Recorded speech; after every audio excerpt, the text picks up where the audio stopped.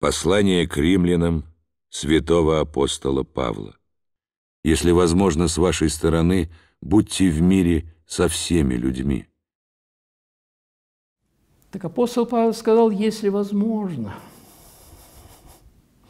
То есть он указал направление нашей жизни, чтобы мы, насколько это в наших силах, из-за мелочей, из-за нашего самолюбия, эгоизма, тщеславия – не нарушали мира с человеком, с другим человеком.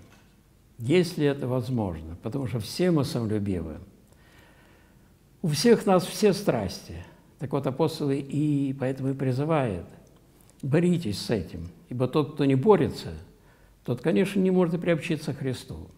Поэтому им призывают, если возможно, потрудитесь, понудьте себя, постарайтесь быть в мире с каждым человеком. И дело в том, что если даже все есть, а мира нет, все становится не мило.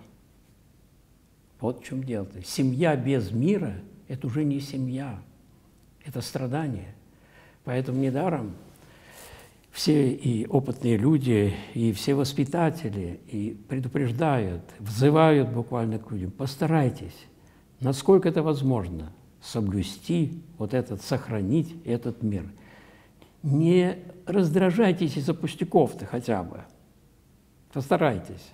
Так что в данном случае он просто призывает к этому и указывает направление нашей, я бы сказал, вовлеченности в общественную жизнь. Прежде всего, конечно, семейную, и затем и далее.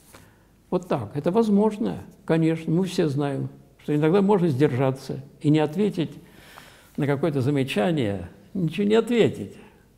Даже в Ветхом Завете была интересная заповедь.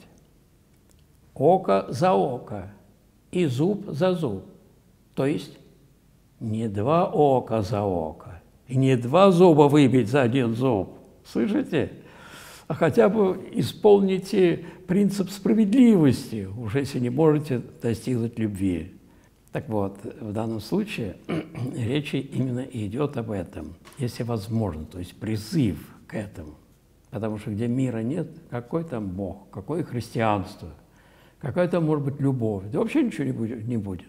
Если возможно, имеете мир со всеми людьми.